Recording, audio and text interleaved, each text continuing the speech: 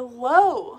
Last video, I promised you that I would do a video about what I am packing for.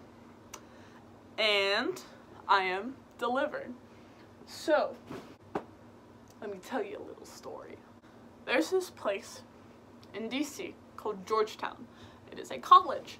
However, every summer, Georgetown opens their doors to youngins like myself and other high school peeps to go and learn about social justice and public policy. My flip-flops for the shower. and there are a bunch of different tracks.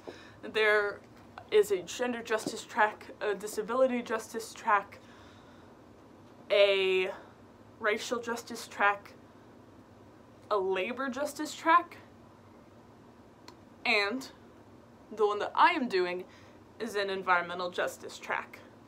The other ones that were really appealing to me were the LGBT justice and the labor justice because I am LGBT and I like learning about how our policies are made and I love learning about labor and labor unions and getting involved in all that stuff. However, the environmental track policy stuff really resonated with me. So, this summer, for three weeks, I am heading down to Georgetown to learn about how environmental policy is made and what kind of environmental policy is necessary in a time of climate crisis. I am so honored that my application was like accepted because I am just sometimes it feels like I'm just a high school teenage activist shouting into a void, but programs like this make me feel like I can actually accomplish something. Yeah, I am most excited to meet other people who are really invested in the climate fight and every fight, all of the tracks, the LGBT justice and disability justice, they're all so cool and I'm super excited to meet everybody who will be working with them and I am really honored that I will be able to share a space with them and hopefully talk about like climate solutions and thoughts about the Green New Deal and just a bunch of really cool stuff that I don't really have the opportunity to talk about or learn about from other people in person. I have a lot of climate friends on social media, but not a lot IRL, so I'm super hype. I'm so hype. In addition, for the first week, I am taking a class, part of, like a mini track on public speaking. And we are going, the goal is to put together a presentation, like a five to 10 minute presentation that we can give to our school or our community center or church or whatever. I, I know I have time, but I am starting to think about what, what I, what topic I want to pick. Because there's a lot of topics that I really want to dive deep into. Because there's stuff that I know a lot about. I could do a getting to the roots of climate change presentation about the patriarchy and colonialism and white supremacy. But there's also topics about like climate change in the prison systems or the effects of climate change on frontline communities. I don't know. I don't know. Maybe when I'm there something will come to me, something will click.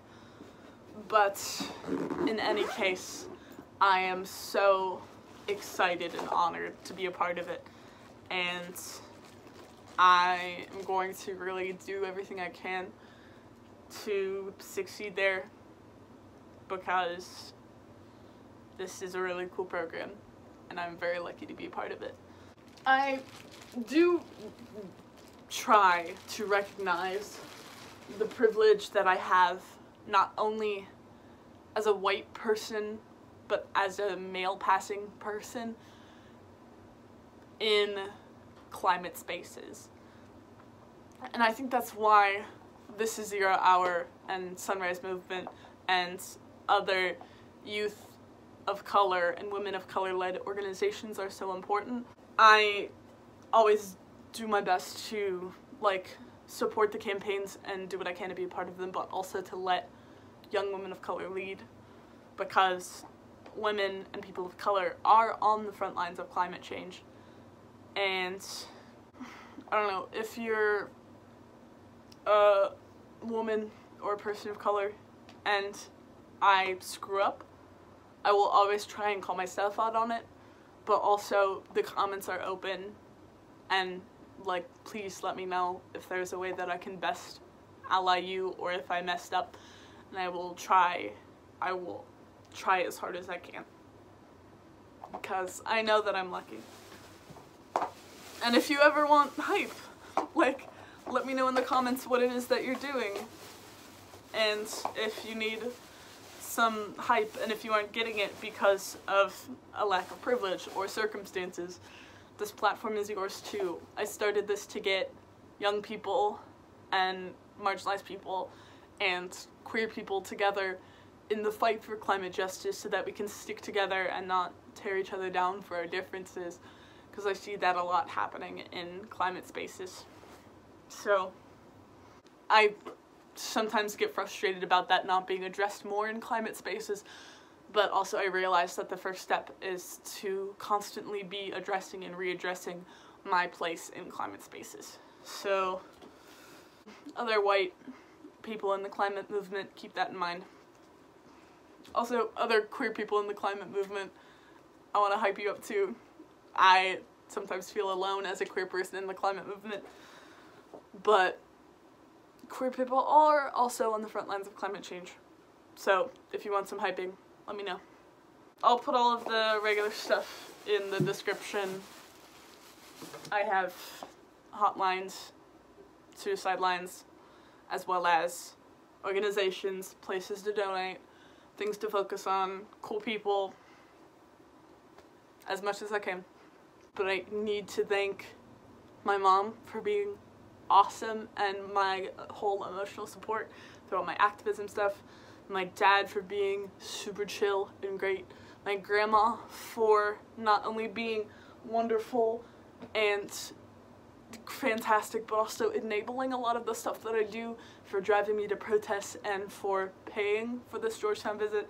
And my cool cool bio teacher who next year will be my environmental science and geology teacher for not only giving them uh, recommending me for the program but also help, helping me learn as much as I can about this stuff. Yeah, so thank you for being here in this cool space. I'm very glad to share it with you. Welcome, always.